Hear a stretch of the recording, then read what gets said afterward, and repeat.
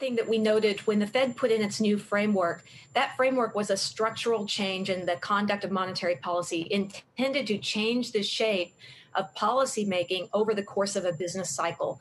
And if you had put the same framework in place in the last cycle, they might not have raised rates until, say, 2018 not 2015. Mm-hmm. Uh, and so this is very much a Fed that wants to run a high pressure economy that will be very lagged in the way it removes policy accommodation.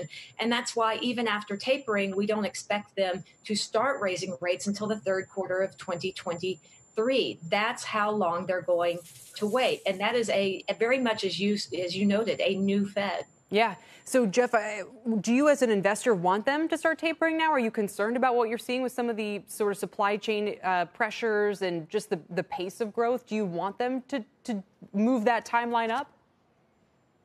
Not necessarily. I think it is all about communication. This is almost the opposite of that Fed pivot, you know, that we had earlier, where um, Powell basically said we're so far away from neutral. Just don't be extreme. I think that Ellen gets it right that we want the Fed to be measured. And after all, we're not at full employment.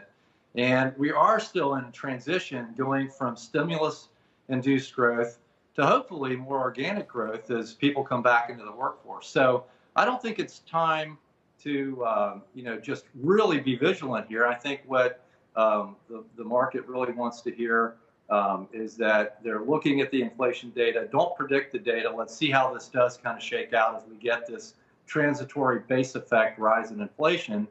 Be watchful, um, but don't be behind the curve and ignore the fact that inflation is accelerating. I think this measured approach is pretty good.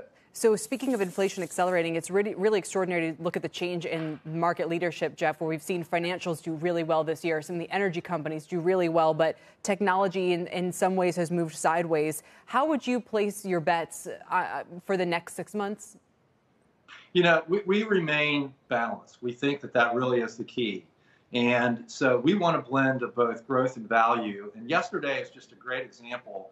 We had a wonderful day in the portfolio as we retain a fair amount of technology exposure, pockets of healthcare and consumer discretionary, and yet we also have increased some exposure to financials and energy as we've seen this rotation. But I don't think it's time to just be extreme and heroic in one direction or the other. We're going to get chop and volatility, and I think you want to be balanced in some of these themes within technology. They're not going away. Earnings are not going away, and some of these stocks non-FANGs are very attractively valued.